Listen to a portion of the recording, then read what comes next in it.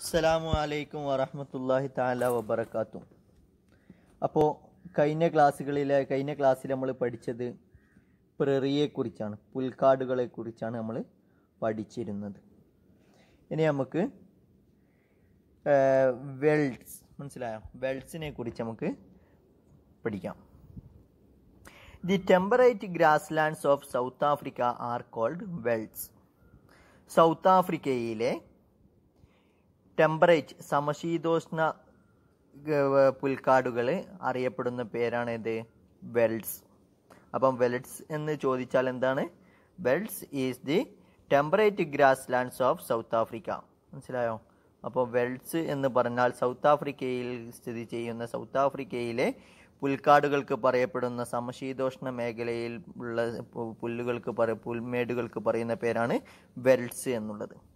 അപ്പം velds are rolling plateau with varying heights ranging from six hundred metre to one one thousand and one hundred metre അപ്പോൾ അവിടെയുള്ള Wells are rolling plateaus അപ്പോൾ അത് അവിടെയുള്ള വെൽസുകൾ എന്ത് ചെയ്യുന്നു? ചുറ്റപ്പെട്ട് കിടക്കുന്നു പീഠഭൂമികളാൽ അത് ചുറ്റപ്പെട്ട് കിടക്കുന്നതാണ് അവിടെയുള്ള വെൽ വെൽസുകൾ. മനസ്സിലായി? വെൽസ് വെൽസ് എന്ന് പറഞ്ഞാൽ സൗത്ത് ആഫ്രിക്കയിലെ പുൽക്കാട്. ആ പുൽക്കാടുകൾ എന്ത് ചെയ്യുന്നു? പ്ലാറ്റ്യൂവിനാൽ ചുറ്റപ്പെട്ട് കിടക്കുന്നു. With varying heights ranging from six hundred to അവിടെയുള്ള ഇത് ഇത് വെൽസിന്റെ ഉയരം അറുന്നൂറ് മീറ്റർ മുതൽ ആയിരത്തി ഒരുന്നൂറ് മീറ്റർ വരെ അത് ഉയരത്തിൽ വ്യത്യസ്തമായ രീതിയിൽ അറുന്നൂറ് മുതൽ ആയിരത്തി ഒരുന്നൂറ് മീറ്റർ വരെ അത് ഉയർന്നു കിടക്കുന്നുണ്ട്. ഇറ്റ് ഈസ് ബൗണ്ട് അതെന്ത് ചെയ്യുന്നു ചുറ്റപ്പെട്ട് കിടക്കുന്നു by the Drakensberg mountain on the east അതിന്റെ ആ വെൽസിന്റെ അവിടെയുള്ള ആ സൗത്ത് ആഫ്രിക്കയിലെ ആ പുൽക്കാടിന്റെ ഇട കിഴക്കു ഭാഗത്തെ എന്ത് ചെയ്യുന്നു ഡ്രാഗൺസ് മൗണ്ടെയിൻ എന്ത് ചെയ്യുന്നു ചുറ്റപ്പെട്ട് കിടക്കുന്നു. നമ്മൾ പറഞ്ഞു നേരത്തെ എന്താണ്? ആ വെൽസ് പുൽമേടുകൾ എന്തിനാൽ ചുറ്റപ്പെട്ട് പോയ പീഠഭൂമികൾ അത് ചുറ്റപ്പെട്ട് കിടക്കുന്നു എന്ന് പറഞ്ഞു. അതിന്റെ ഈസ്റ്റ് ഭാഗത്ത് ഏത് മൗണ്ടെയിനാണ് സ്ഥിതി ചെയ്യുന്നത്? ഡ്രാഗൺസ് ബർഗ് എന്ന മൗണ്ടെയിനാണ് സ്ഥിതി ചെയ്യുന്നു. To its west lies the Kalahari desert അതിന്റെ പടിഞ്ഞാറ് ഭാഗത്ത് ആ ഗ്രാസ് ലാൻഡിന്റെ പടിഞ്ഞാറ് വശത്തായി സ്ഥിതി ചെയ്യുന്നത് കലാഹരി ഡെസേർട്ട് ആവുന്നു.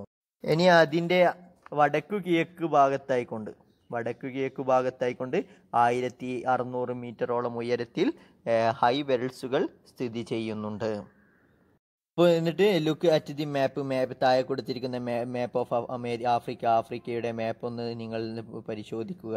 Name of name the countries that covered the by velds ആ വേൾഡ്സുകൾ കവർ ചെയ്യുന്ന രാജ്യങ്ങളെ നിങ്ങൾ രാജ്യങ്ങളുടെ പേര് എഴുതുക. The tributaries of rivers Orange and Limpopo drain the region ഇവിടെയുള്ള പ്രദേശത്തെ ഏതൊക്കെ നദികൾ എന്ത് ചെയ്തു? ഈ നദികളുടെ ഓറഞ്ച് അല്ലെങ്കിൽ ഓറഞ്ചും പിന്നെ ലിംപോപ്പോ എന്ന നദികളുടെ പോഷക നദികൾ. മനസ്സിലായോ? ഈ പോഷക നദികൾ എന്ത് ചെയ്യുന്നു? ഡ്രെയിൻ ദി റീജിയൻ ഇവിടെയുള്ള ഈ സ്ഥലങ്ങളെ വല ഉണക്കിയിട്ടുണ്ട്. മനസ്സിലാവുന്നുണ്ടോ? അവിടെയുള്ള ആ പുൽമേടുകളെ ഈ രണ്ട് നദികളുടെ പോഷക നദികളും അത് ഇല്ലാതാക്കി കളഞ്ഞിട്ടുണ്ട് നശിപ്പിച്ചിട്ടുണ്ട്. ഈ മാപ്പിൽ അടിയിലായി കണ്ട ഒരു വട്ടത്തിലൊരു ബ്ലാക്കിൽ കാണുന്നത്? അതാണ് ഏത്? നമ്മളുടെ വെൽസ് മനസ്സിലാവുന്നുണ്ടല്ലോ? അത് മൗണ്ടെയിനുകളാൽ അത് ചുറ്റപ്പെട്ടതാകുന്നു. അതിന്റെ ഹൈറ്റ് അറുന്നൂറ് മുതൽ ആയിരത്തി ഒരുന്നൂറ് മീറ്റർ വരെയാകുന്നു. ചില സ്ഥലങ്ങളിൽ അത് ആയിരത്തി അറുന്നൂറ് ഉയരത്തിൽ അത് സ്ഥിതി ചെയ്യുന്നുണ്ട്. മനസ്സിലാവുന്നുണ്ടല്ലോ? മാപ്പ് നോക്കിയാൽ കാര്യങ്ങളൊക്കെ മനസ്സിലാകും. ഇനി നമുക്ക് അവിടുത്തെ ക്ലൈമാറ്റ് കാലാവസ്ഥയെക്കുറിച്ചൊന്ന് ചെക്ക് ചെയ്യാം. The velds have mild climates due to influence of the Indian Ocean Indian മഹാസമുദ്രത്തിന്റെ സ്വാധീനം കാരണം ഇന്ത്യൻ മഹാസമുദ്രം കാരണം അവിടെ എന്താകുന്നു? കൂടുതൽ ഒരു ഇളം കാലാവസ്ഥയാകുന്നു കൂടുതൽ കട്ടിയുള്ള കാലാവസ്ഥ എന്നല്ല സാധാ നോർമൽ കാലാവസ്ഥയിലാകുന്നു. മിൽഡ് എന്ന് പറഞ്ഞാൽ വളരെ പ്രയാസമൊന്നും ഇല്ലാത്ത മനസ്സിലാവുന്നുണ്ടല്ലോ ആശ്വാസകരമായ കാലാവസ്ഥയാകുന്നു. അല്ലാതെ വല്ല ചൂടുള്ള കാരണമൊന്നുമല്ല ചൂടുള്ള കാലാവസ്ഥയല്ല. കാരണം അവിടെ എന്തുണ്ട്? ഇന്ത്യൻ ഓഷ്യന്റെ ഇന്ത്യൻ ഓഷ്യൻ അവിടെ സ്ഥിതി ചെയ്യുന്നുണ്ട്. ആ കാരണത്താൽ അവിടെ മൈൽഡ് ക്ലൈമറ്റ് ആവുന്നു. Winters are cold and dry. അവിടെയുള്ള തണുപ്പ് എന്താകുന്നു നല്ല വിന്റർ സീസൺ. അത് നല്ല തണുപ്പുള്ളതാകുന്നു. Temperature very very between five degree Celsius and ten degree Celsius അവിടെയുള്ള ചൂട് അഞ്ച് ഡിഗ്രി മുതൽ പത്ത് ഡിഗ്രി വരെ ആകുന്നു അവിടെയുള്ള ചൂടുകൾ. And July is the coldest month July ആകുന്നു ഏറ്റവും തണു തണുപ്പുള്ള മാസം ജൂലൈ ആവുന്നു. Summers are short and warm അവിടെയുള്ള ചൂടുകാലം വളരെ കുറഞ്ഞതാകുന്നു. മനസ്സിലാവുന്നുണ്ടല്ലോ? അവിടെയുള്ള ചൂടുകാലം വളരെ കുറഞ്ഞതാകുന്നു. വളരെ കുറച്ച് കാലേ ഉണ്ടാവൂ. അപ്പം Johannesburg records about twenty degree Celsius temperature in summer summer സീസണിൽ ചൂടുകാലത്ത് ജോഹന്നാസ്ബർഗിൽ എത്രത്തോളം ഇരുപത് ഡിഗ്രി സെൽഷ്യസ് രേഖപ്പെടുത്തി വെച്ചിട്ടുണ്ട്. മനസ്സിലായോ? ജോഹന്നാസ്ബർഗിൽ സമ്മർ സീസണിൽ എത്രയാണ് ഉണ്ടാവുക? ഇരുപത് ഡിഗ്രി സെൽഷ്യസ് ആണ് ചൂട് ഉണ്ടാവാറുള്ളത് സാധാരണ. The velds receive rainfall mainly in summer months ഈ ഉഷ്ണകാ ഉഷ്ണ ഉഷ്ണമാസങ്ങളിൽ സമ്മർ സീസണിൽ അവിടെ എന്താകുന്നു? മഴ പ്രധാനമായും ലഭിക്കുന്നുണ്ട്. സമ്മർ സീസണിൽ മഴ പ്രധാനമായും ലഭിക്കുന്നുണ്ട്. അവിടെ സമ്മർ സീ സമ്മർ മന്ത് എപ്പോഴാണ് തുടങ്ങുക? നവംബർ മുതൽ ഫെബ്രുവരി ആകുന്നു അവിടെയുള്ള സമ്മർ സീസൺ ഈ സമ്മർ സീസണിൽ എന്ത് ചെയ്യുന്നു? മഴ അവിടെ പ്രധാനമായും ലഭിക്കുന്നുണ്ട്. ഇനി if the rains rainfall is scanty and in in the winter months from June to uh, June till August drought may occur. അവിടെ ഏത്? ജൂൺ മുതൽ ആഗസ്റ്റ് വരെയുള്ള വിന്റർ സീസണിൽ മനസ്സിലായോ? വിന്റർ സീസണിൽ മഴ മഴ മഴയുടെ ലഭ്യത കുറയുകയാണെങ്കിൽ മനസ്സിലായ? സ്കാച്ചി എന്ന് പറഞ്ഞാൽ കുറയുക.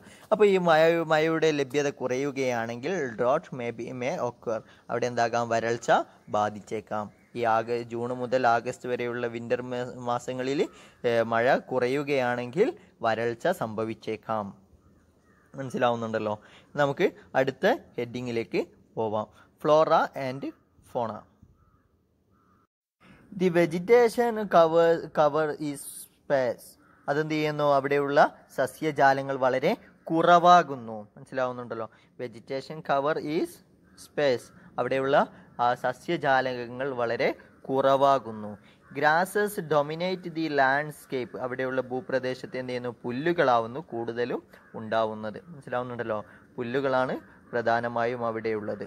The red grass grows in bushes in bush velds അവിടെയുള്ള കുറ്റി വെൽഡ്സുകളിൽ എന്ത് ചെയ്യുന്നു? ആ കുറ്റി കുറ്റിക്കാടുകളിൽ റെഡ് ഗ്രാസ് എന്ത് ചെയ്യുന്നു? വളരുന്നുണ്ട്. In the high in in the high velds acacia and marula are seen to be grown. അവിടെയുള്ള ഇത് ഉയർന്ന പ്രദേശങ്ങളിൽ മനസ്സിലാവുന്നുണ്ടല്ലോ? ഉയർന്ന പ്രദേശങ്ങളിൽ എന്തൊക്കെ വളരുന്നു? അക്കേഷ്യയും മറൂള എന്ന രണ്ട് മരങ്ങളും അവിടെ പ്രധാനമായും വളരുന്നതായി നമുക്ക് കാണാൻ സാധിക്കും. അക്കേഷ്യയും മറൂളയും. The animals of the velds are primarily lions leopard cheetah and kudu അവിടെയുള്ള പ്രധാനമായുള്ള പ്രധാനപ്പെട്ട മൃഗങ്ങൾ ഏതൊക്കെയാവുന്നു? അവിടെ വളരുന്ന പ്രധാനപ്പെട്ട വന്യമൃഗങ്ങൾ സിംഹമാവുന്നു ലെപ്പേഡാവുന്നു ചീറ്റ കുടു. മനസ്സിലായോ? ഇവ മൂന്ന് ഇവ നാലെണ്ണമാകുന്നു അവിടെയുള്ള പ്രധാനപ്പെട്ട മൃഗങ്ങൾ. ഇനി നമുക്ക് അവിടുത്തെ പീപ്പിൾ ജനങ്ങളെക്കുറിച്ച് നോക്കാം. Velds are velds are known for cattle rearing and mining. വേൾസുകൾ മനസ്സിലായോ? ആ കുറ്റിക്കാടുകൾ എന്ത് ചെയ്യുന്നു? ആ സൗത്ത് ആഫ്രിക്കയിലെ വേൾസുകൾ അറിയപ്പെടുന്നു. എന്തിനൊക്കെ? ഫോർ കാറ്റിൽ റിയറിങ് കന്നുകാലികളെ മേയ്ക്കുന്ന കാര്യത്തിൽ അവിടെ അറിയപ്പെടുന്നു ആൻഡ് മൈനിങ് ഇങ്ങനെ ഭൂമിയിൽ നിന്നും സാധനങ്ങളൊക്കെ കുഴിച്ചെടുക്കുക കുഴിച്ചെടുക്കുന്നതിലും കന്നുകാലികളൊക്കെ മേയ്ക്കുന്നതിലും അവിടെ ഈ വെൽസുകൾ അറിയപ്പെടുന്നു the so soils are not very fertile in the wells due to due to the presence of discontinuous grasses exposing barren surface. അപ്പോൾ the soils are not very fertile. അവിടെയുള്ള മണ്ണുകൾ എന്തല്ല? കൂടുതലും ഫലപുഷ്ടമായതല്ല. ഫല മണ്ണുകൾ ഫലപുഷ്ടിയുള്ളതല്ല. കാരണം എവിടെയുള്ള ബെഡ്സുകളിലുള്ള മണ്ണുകൾ ഫലപുഷ്ടമല്ല. കാരണം due to the presence of the discontinuous grasses അവിടെ എന്താകുന്നു? നമ്മൾ പറഞ്ഞു പോയത് പുല്ലുകളൊന്നും കൂടുതലായിട്ട് വളരാത്ത പ്രദേശമാവുന്നു. ഡിസ്കണ്ടിന്യൂസ് എന്ന് പറഞ്ഞാൽ ഇങ്ങനെ തുടർന്ന് തുടർച്ചയായുള്ള വളർച്ചയില്ലാത്ത വസ്തുക്കളാകുന്നു പുല്ലുകൾ. പുല്ലുകൾക്ക് കൂടുതൽ ആയുസൊന്നും ഉണ്ടായില്ല ചിലപ്പോൾ എന്താ പെട്ടെന്ന് തന്നെ ഉണങ്ങിപ്പോവും. ആ ഒരു കാരണത്താൽ എന്ത് എക്സ്പോസിങ് ബാരൻ സർഫേസ് അവിടെയുള്ള ആ ഉപരിതലത്തെ എന്താകുന്നു? അത് കായ്ക്കാത്തതാക്കുന്നു. ഡിസ്കണ്ടിന്യൂസ് ഓഫ് ഗ്രാസസ് ഈ നമ്മളിപ്പോൾ നമ്മൾ പുല്ലുകളൊക്കെ എന്താണ് ഇങ്ങനെ തുടർന്ന് തുടർച്ചയായി ഇങ്ങനെ മുളച്ച് വരുന്നതാകുന്നു. അപ്പോൾ അങ്ങനെ ഇല്ലാത്ത കാരണത്താൽ എന്ത് ചെയ്യുന്നു? ആ പുല്ലുകളൊന്നും ഇല്ല. അപ്പോൾ എന്ത് ചെയ്യുന്നു? അത് ആ ഭൂമിയെ ആ ഉപരിതലത്തെ എന്താകുന്നു? കായ്ക്കാത്തതാകുന്നു. ഫലപുഷ്ടമാക്കാത്തതാകുന്നു അവിടെ പുല്ലുകളില്ല അതുകൊണ്ട് അവിടെയുള്ള ഭൂമികൾ കായ്ക്കാത്ത ഫലപുഷ്ടമല്ലാത്തതായി മാറുന്നു. ഹൗവർ എങ്ങനെയൊക്കെയായാലും വേറെ the land is fertile land ഭൂമി എന്താണ് ഫലപുഷ്ടമായതാണ് എങ്കിൽ ക്രോപ്സ് ആർ ഗ്രോൺ. ഈ കൃഷികൾ ചെയ്യപ്പെടുന്നുണ്ട്.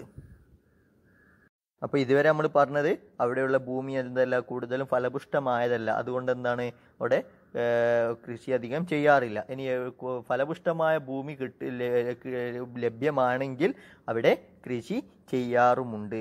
തീരെ ചെയ്യാറില്ല എന്നല്ല ഫലപുഷ്ടം കൂടുതലും ഫലപുഷ്ടമല്ല അതുകൊണ്ട് കൃഷി വളരെ കുറവാണ്. The main crop are maize and wheat barley oats and potato അവിടെയുള്ള പ്രധാന ധാന്യവിളകൾ ഏതൊക്കെയാകുന്നു? മൈസ് ചോളമാകുന്നു വീറ്റ് ബാർലി ഓട്സ് പൊട്ടാറ്റോ ഇവ അഞ്ച് വസ്തുക്കളാകുന്നു അവിടെയുള്ള പ്രധാനപ്പെട്ട കൃഷികൾ. ഇനി ക്യാഷ് ക്രോപ്സ് അവിടെയുള്ള നാണ്യവിളകൾ നാണ്യവിളകൾ tobacco and sugar sugar cane cotton are also grown. അവിടെയുള്ള നാണ്യവിളകൾ ഏതൊക്കെയാകുന്നു? ടൊബാക്കോ പുകയില ആൻഡ് സുഗർ കെയിൻ കരിമ്പ് ആൻഡ് കോട്ടൺ. ഇവ മൂന്നെണ്ണമാകുന്നു അവിടെയുള്ള നാണ്യവിളകൾ. And the sheep rearing is the most important occupation of the people. അവിടെയുള്ള ജനങ്ങളുടെ പ്രധാനപ്പെട്ട ജോലി എന്താണെന്ന് വെച്ചാൽ ഷീപ്പ് റിയറിംഗ് ചെമ്മരിയാടിനെ വളർത്തലാകുന്നു അവിടെയുള്ള പ്രധാനപ്പെട്ട ജോലി ജനങ്ങളുടെ പ്രധാനപ്പെട്ട ജോലി ചെമ്മരിയാടിനെ വളർത്തലാകുന്നു. Sheep is bred mainly for wool അവിടെയുള്ള അവർ ജനങ്ങൾ നമ്മൾ ചെമ്മരിയാടിനെ വളർത്തുന്നു എന്ന് പറഞ്ഞു. അവർ ചെമ്മരിയാടിനെ വളർത്തുന്നത് എന്തിനു വേണ്ടിയാണ്? വൂൾ കമ്പിളി പുതപ്പുകളൊക്കെ ഉണ്ടാക്കാൻ വേണ്ടിയാകുന്നു. മനസ്സിലായോ? പുതപ്പുകളൊക്കെ ഉണ്ടാക്കാൻ വേണ്ടിയാകുന്നു. Has given rise to the wool industry in the veld അവിടെയുള്ള വെൽസുകളിൽ എന്ത് ചെയ്യുന്നു അവർ ഈ വൂളിന്റെ വ്യവസായം തന്നെ അവിടെ തുടങ്ങിയിട്ടുമുണ്ട് മനസ്സിലായോ? People has given rise to wool interest in the velds അവിടെയുള്ള വെൽസിൽ എന്ത് ചെയ്യുന്നു? അവിടെയുള്ള ജനങ്ങൾ വൂൾ ഇൻട്രസ്റ്റ് പുതപ്പി ഈ കമ്പ തോലിന്റെ വ്യവസായം തന്നെ അവരവിടെ തുടങ്ങിയിട്ടുമുണ്ട്. പിന്നെ അതിന് ശേഷം merino sheep is the is a popular species and their wool is very warm അവിടെയുള്ള ഏത് പ്രധാനപ്പെട്ട ചെം അവർ വളർത്തുന്ന ചെമ്മരിയാടിനെ ആണെന്ന് പറഞ്ഞു. ഈ ഏത് മെറിനോ ഷീപ്പ് അഥവാ ചെമ്മരിയാട് is the is a popular species അവിടെയുള്ള മെറിനോ ഷീപ്പ് എന്ത് ചെയ്യുന്നു? വളരെ ജനകീയമായ എല്ലാവരും വളർത്തുന്ന ഒരു ജനകീയമായ ജീവിയാകുന്നു മെറിനോ ഷീപ്പ് കാരണം എന്താണ്? ദർ വൂൾസ് മെറിനോ ഷീപ്പിന്റെ തോലുകൾ എന്താകുന്നു? ഈസ് വെരി വാം അത് വളരെ നല്ല വാം ആകുന്നു. ഡയറി ഫാ dairy farming is is the next important occupation അപ്പം പ്രധാനപ്പെട്ട ജോലി അവർ ഈ കന്നുകാലികളെ മേയിച്ച് അതിന്റെ തോലുകൾ വ്യവസായം ചെയ്യുന്നതിലായിരുന്നു അവരുടെ പ്രധാനപ്പെട്ട ജോലി എന്ന് പറഞ്ഞു ഇനി രണ്ടാമത്തെ ജോലി എന്താണെന്ന് പറഞ്ഞാൽ ഡയറി ഫാമിംഗ് ആയിരുന്നു. ക്ഷീരോത്പാദനമാകുന്നു മനസ്സിലാവോ? ക്ഷീരോത്പാദമാകുന്നു അവരുടെ പ്രധാനപ്പെട്ട രണ്ടാമത്തെ ജോലി. കാറ്റിലാർ റിയഡ് കന്നുകാലികളെ അവർ വളർത്തുന്നു. In the warmer and wetter region ചൂട് പ്രദേശത്തും നനവുള്ള പ്രദേശത്തൊക്കെ കന്നുകാലികളെ അവർ വളർത്തുന്നു. And the dairy products like butter cheese are produced for both domestic supply and also for export. അവർ എന്ത് എന്ത് ഇത് രണ്ടാമത്തത് ഡയറി ഫാമിംഗ് ആണെന്ന് നമ്മൾ പറഞ്ഞു. അത് അവർ കന്നുകാലികളെ വളർത്തുന്നത് എന്തിനു വേണ്ടിയാണ്? Dairy products like butter butter ഉണ്ടാക്കാൻ വേണ്ടി ചീസ് ഉണ്ടാക്കാൻ വേണ്ടി ഇതൊക്കെയാവും അവർ പ്രധാനമായും ഉൽപ്പാദിപ്പിക്കുന്നത് ബട്ടറും ചീസും. ഇത് എന്തിനൊക്കെയാണ് അവർ ഉൽപ്പാദിപ്പിക്കുന്നത്? For domestic supply. ആ നാട്ടിൽ അവർക്ക് വിതരണം ചെയ്യാൻ വേണ്ടി നാട്ടിലെ ഉപയോഗത്തിന് വേണ്ടിയും ആൻഡ് ആൾസോ ഫോർ എക്സ്പോർട്ട് അത് വിദേശ നാടുകളിലേക്ക് കയറ്റിവിടാനും അവിടെ ജനങ്ങൾക്ക് അവിടെ ആവശ്യമുള്ളവർക്ക് കൊടുത്ത് ബാക്കിയുള്ളത് അല്ലെങ്കിൽ എക്സ്പോർട്ട് ചെയ്യാൻ വേണ്ടിയൊക്കെ അവരെന്ത് ചെയ്യുന്നു ഈ ചീസും ബട്ടറൊക്കെ കൂടുതലും ഉൽപ്പാദിപ്പിക്കുന്നു. ഇനി നമുക്ക് velds have rich reserve of minerals അവിടെ ധാതുക്കൾ കൂടുതലും ധാതു സമ്പത്തുള്ള പ്രദേശമാകുന്നു വേൾഡ്സുകൾ മനസ്സിലാവുന്നുണ്ടല്ലോ? ആ വേൾഡ്സുകൾ എന്ത് ചെയ്യുന്നു കൂടുതലും ധാതു സമ്പത്തുകൾ ഉള്ളതാകുന്നു മിനറൽസുകൾ ഉള്ളതാകുന്നു iron and steel industries industry has developed where coal and iron are present അയണും ഇരുമ്പും സ്റ്റീലൊക്കെ സ്റ്റീൽ വ്യവസായമൊക്കെ എന്തായിട്ടുണ്ട് അവിടെ? പുരോഗതി കൈവരിച്ചിട്ടുണ്ട്. എങ്ങനെയുള്ള സ്ഥലങ്ങളിലാണ് ഈ സ്റ്റീൽ അയൺ ഇൻഡസ്ട്രികളൊക്കെ വന്നത്? Coal and iron are present ഈ കോളും അയണും ലഭ്യമായ സ്ഥലങ്ങളിൽ അയണും സ്റ്റീൽ വ്യവസായവും വളരെ വർദ്ധിച്ചു വരുന്നുണ്ട്. Gold and diamond mining are major occupation of the of the people of the of this region. ഇവിടെയുള്ള ജനങ്ങളുടെ പ്രധാനപ്പെട്ട ജോലി എന്താണെന്ന് വെച്ചാൽ സ്വർണവും വജ്രങ്ങളൊക്കെ മൈനിങ് അതൊക്കെ കുഴിച്ചെടുക്കലാകുന്നു. ഇവിടെയുള്ള പ്രധാന ജനങ്ങളുടെ പ്രധാനപ്പെട്ട പണി. മനസ്സിലായല്ലോ? അപ്പോൾ നമ്മൾ നേരത്തെ നമ്മൾ കന്നുകാലികളെ മേയ്ക്കുന്നതാണ് പ്രധാനപ്പെട്ട പണി. അവർ അതിൽ നിന്നും ക്ഷീരോത്പാദനങ്ങളൊക്കെ നടത്തുന്നു. ഇനി അത് അതിന് ശേഷം പിന്നെ പിന്നെ പ്രധാനപ്പെട്ട ജോലി എന്താണെന്ന് വെച്ചാൽ ഈ മൈനിങ് ഇങ്ങനെ കുഴിച്ചെടുക്കുക ഏതൊക്കെ ഗോൾഡ് ഡയമണ്ട് ഒക്കെ കുഴിച്ചെടുക്കലാകുന്നു ജനങ്ങളുടെ മറ്റൊരു പണി. Johannesburg is known for being gold capital of the world. ലോകത്തിലെ സ്വർണം കുഴിച്ചെടുക്കുന്ന പ്രധാനപ്പെട്ട നഗരങ്ങളിൽ ഒന്നാണ് ജോഹന്നാസ്ബർഗ്. മനസ്സിലായോ? ലോകത്തിൽ തന്നെ ഏറ്റവും കൂടുതൽ സ്വർണം കുഴിച്ചെടുക്കുന്ന രാജ്യമാകുന്നു Johannesburg. And the Kimberley and the Kimberley is the famous for its diamond mines അവരുടെ കിംബർലി എന്തിനേക്കാണ് അത് അറിയപ്പെടുന്നത്? കിംബർലി അറിയപ്പെടുന്നത് ഡയമണ്ട് മൈനിങ് ഡയമണ്ട് കുഴിച്ചെടുക്കുന്നത് കൊണ്ടാണ്. ഏത് കിംബർലി അറിയപ്പെടുന്നത്. മനസ്സിലായ? ലോകത്ത് കിംബർലി അറിയപ്പെടുന്നത് ഡയമണ്ട് കുഴിച്ചെടുക്കുന്നതിനാലും ജോഹന്നാസ്ബർഗ് അറിയപ്പെടുന്നത് സ്വർണം കുഴിച്ചെടുക്കുന്ന കാരണങ്ങളാൽ ഇവ രണ്ടും അറിയപ്പെടുന്നുണ്ട്.